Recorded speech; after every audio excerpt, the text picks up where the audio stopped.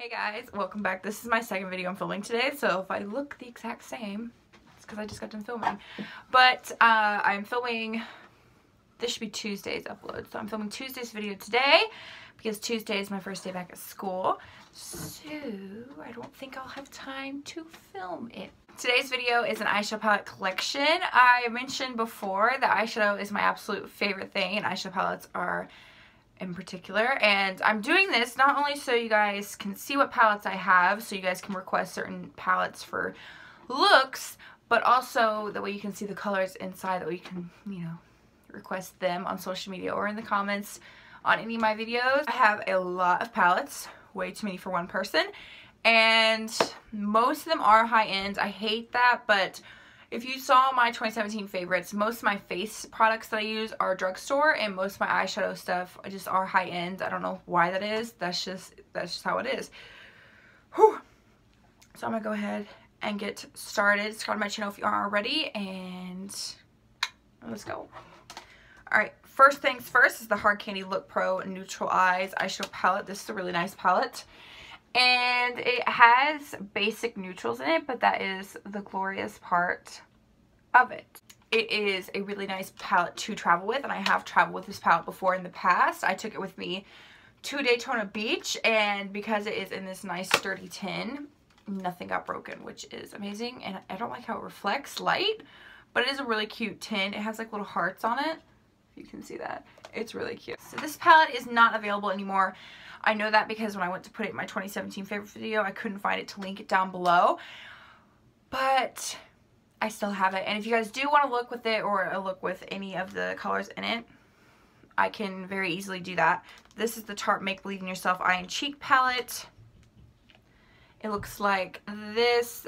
I think I said in my 2017 favorite video that the only one I didn't like is the middle highlighting shade is just a little bit too powdery for me, but the rest of the colors are really, really nice if you can see them all there. I really do like this. I think the mirror is phenomenal. You know, like when you get a product, you can see the paint splash on the ceiling. If, uh, you know, when you get like a product that has a mirror and it's like a really nice mirror, that's what type of mirror this is. And it's really, really pretty, but it is not available anymore, so I won't dwell on I did a review on this. This is the Too Faced Peanut Butter and Jelly palette. I have more Too Faced palettes than anything. That is just your fair warning. They're just my favorite, so I have more of them than anything else. But this is what it looks like on the inside. It is a really small, warm, neutral palette, and that is just everything to me. Those are my favorite shadows to work with, and I'm wearing a warm eye today, but I'm actually not wearing this on my eyes. I'm wearing the Clover palette by Too Faced instead, but um, this is a really, really, really nice palette. I think so I think I said in my video that I really like this, and I do really like this. I have used it several times. I know some people said it's just nine shades. You can't really do a whole lot with it, but for me, I really don't need more than nine shades, and it's just super cute. Next palette is one I've actually used on my channel before. This is the BH Cosmetics second edition 120 color eyeshadow palette. I used this for, I think, my all green Christmas look, and I said in that video that the trays do come out if you can they come completely out. So this is what it looks like on the inside. It is massive, so I don't know if I can get it all in the shot. But this palette I've only used three or four times. I haven't used it very often. But um, it is a really nice palette. I like all the colors in it. That's the main reason I bought it. And I, I've only used it when I really want a real colorful look. I don't like how bulky this is though. It makes it really, really hard to store in my drawer and I don't love that. Next is the Black Heart Pastel Dreams eyeshadow palette. This is actually my least favorite palette I own. I hate to say that. I just don't like this really at all. It's just really hard to work with. You, they, they're not pigmented. They're really, really powdery and you just, you can pack them on for literally hours and nothing really shows up. But yeah, I'll probably end up decluttering this because I just don't love it. This is one I love that got a lot of hate. This is the Pirates Caribbean Dead Men Tell No Tales Treasure in the Stars palette by Lorac and the packaging is the compass. And if you open it up, it looks like this on the inside. A lot of people said they hated this, didn't get the color scheme, but I really, really like this. If you saw the post I posted on Instagram of the really warm eye with the dark Too Faced lip. This was actually what was all over my lid, the shade Treasure from this palette, and it was stunning. I love this. I love Lorac shadows. I actually used only this palette when I went to prom and this, the eyeshadow look lasted all night and it was amazing. Next is another palette that got a lot of hate. This is the Too Faced Natural Love palette. This palette is not available on Sephora.com anymore, but it is still available on TooFaced.com. So I know a lot of you guys DM'd me on Twitter asking after I showed it in my 2017 favorites video. I did link it down below, but I guess some people just don't check the description box. But um, it is available on TooFaced.com if that helps you. This palette is super, super nice. I love, love, love this. It is just another neutral palette like a lot of people said. But I just, I personally love neutral eyeshadows. They're just my favorite to work with. And to me, you can never have enough neutral eyeshadow palettes. So I just love this so much. Next is the Disney Ohana Lilo and Stitch eyeshadow palette. This my sister actually just bought me and I did film a video with it but the video didn't look right so if I if you guys want another video with it just let me know like all my videos but uh, this palette was really nice uh, they aren't super pigmented but they're not they don't lack pigmentation where you can't work with them they you do kind of have to use two or three different layers but that's not terrible. It's only really the bright colorful ones like these two that do that. The This shade right here in the middle, stunning. And I love that the mirror is stitched. It's just so cute. It's like the cutest touch that most people don't think about, but it is super cute and I appreciated it. Next is, the last palette in this drawer actually, is the Pur My Little Pony The Movie Palette. I did a review on this as well and I love this. If you saw the review, you already knew that. But this palette is super cute. It has really bright colors in it, but they're not so bright to where you can't use them. I love that about this. They are super, super pigmented. Like, I'll swatch Rainbow Dash for you. That's the blue. Yeah, I love this. Love this, and it's super small and really easy to store, which is a huge bonus. Is the Lorac Pro 2. This is the cool toned sister out of the three and to be honest I don't use this palette very often just because it is cool toned but it is a really nice cool tone palette whenever I'm looking for a cool tone shadow I normally reach for this one the mattes in here are phenomenal the only two I don't like are plum and navy which are these two they're just a little bit patchy but with a really nice eyeshadow primer you can get away with it but it is still a little patchy just thought I'd let you know and if you've never seen a Lorac Pro shadow the top row are all matte and the bottom row is all shimmer, which I absolutely love. And I love the shimmers on the bottom because sometimes the shimmer can drip and like get everywhere when you dip brush in. And with it on the bottom, it doesn't mix with the matte, which is uh, amazing. I love, love, love Lorac shadows. They are one of my favorites to work with. Next is one of my top five favorite eyeshadow palettes. This is the Lorac Pro 3. If you've seen pretty much any of my favorites videos. I actually think I only have one post now that my account got hacked, but this made the first one. If you did end up seeing that before it got deleted, this was my favorite eyeshadow palette of the month. And it still really is one of my favorite eyeshadow palettes. I absolutely adore this. It is a warm tone neutral palette, which is just my dream. This is everything, especially these two shades right here. Everything everything. I just dip my finger into it. Oh, no. A lot of people did not like the shade Medallion, which is this glitter shade right here. Glitter shades typically do have a lot of fallout, so I understand where people were coming from when they said that shade had a lot of fallout. I just pack it on with my finger and use a glitter glue as a primer, and it stays perfectly fine. So if you have this palette and you had that problem, I would recommend using a glitter glue. The only downside is it gets really dirty really fast, which I don't like. This is the Balm Nude Tude palette. I did a review on this and I haven't touched this palette since I filmed that review, which was months ago. But um, there's nothing wrong with this palette. It just doesn't excite me very much. The, the blah, blah, blah, the colors are not that pigmented, so it kind of takes a lot more work than what I like to put into it, but they are nice. I think just be really good for a beginner. This would be really nice for an everyday eyeshadow palette. Not so much like um, I'm going out type of eyeshadow palette. Then one of my top five favorite eyeshadow palettes is the Anastasia Modern Renaissance. If you know me in person, you know how much I love this palette because I rave about it all the time. It is just stunning. The lighting in here is kind of washing it out a little bit, but it is gorgeous. I've used every color in here and I love them all so much. It's unbelievable. And when I first got this palette, I did not put it down for weeks. And I've actually made a huge indent in the shades Golden Ochre and Blonde Fresco. Blonde Fresco? I don't know. But I've made huge dents in those two. And I never thought I'd hit, like, make a dent in this one, but I have. And it's just gorgeous. And I love this. I love that the package is velvet, but, like, every little thing shows up on this mauve color, which I don't like. I like to keep my makeup clean This is the Anastasia Prism palette.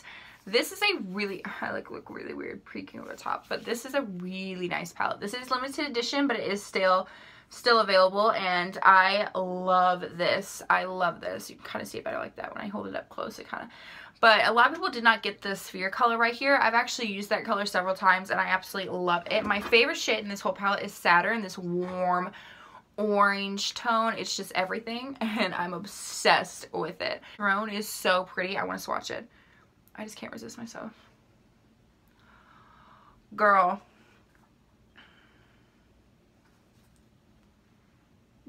girl it is so pretty i absolutely adore this and i'm so happy i picked it up. So if you are thinking about it i would go ahead and grab it because it is limited edition. This is the urban decay naked. This is the original naked and i don't love the urban decay shadows. They're nice but they're not my favorite. I don't really use them very often but this one is my top favorite naked palette that i own. It's just my favorite one because of the tones in it but I, like i said i don't use them very often just because they're not my personal favorites but if you guys still want a video, I can very, very happily do that for you. Next is the Urban Decay Naked 2. This is my least used naked palette just because it is super cool toned and there's not a whole lot of mattes in here. There's only three mattes in here and there's not a transition shade for me personally. But the shade Booty Call, which is this one right here, makes a gorgeous inner corner highlight. I'll swatch it for you. And if you have a skin tone similar to mine, you need to use this as a highlight because it's just gorgeous. But yeah, the Naked palettes don't really excite me. The only one that's really ever really excited me is the Naked Heat, and I don't own that one, but every time I see it, I want to like snatch it up because it's just gorgeous. Next is the Urban Decay Naked 3. I use this in my rose gold eyeshadow look, and it is gorgeous. I love using the Naked 3. The shade Limit, I've actually almost hit pan on because I just love this so much, but yeah, I broke the mirror out which sucks. Next is the L'Oreal La Palette Nude 2. I do not love this. First off, I don't love it because of the price point. This is $20 at the drugstore, and that is just crazy for a drugstore palette. And the shades in here are really hit or miss. Some shades are really nice. Some shades are just complete duds and I don't like them at all. But some of the shades in here you can work with them but it's just such a hit or miss palette for $20 from the drugstore that I would just pass on it altogether. Alright, my next seven palettes are all from Too Faced just because they're my favorite and so I'm really sorry if you don't like Too Faced palettes but um yeah. the first one is the Too Faced Sweet Peach. This is my least favorite Too Faced palette I own. I just, I thought I'd really like this, and I just don't. I feel like it's just not formulated the same as all the others. And so, I don't know. I'm thinking about just buying a new one and maybe just seeing what happened with this one because this one just isn't my favorite. It's not my cup of tea.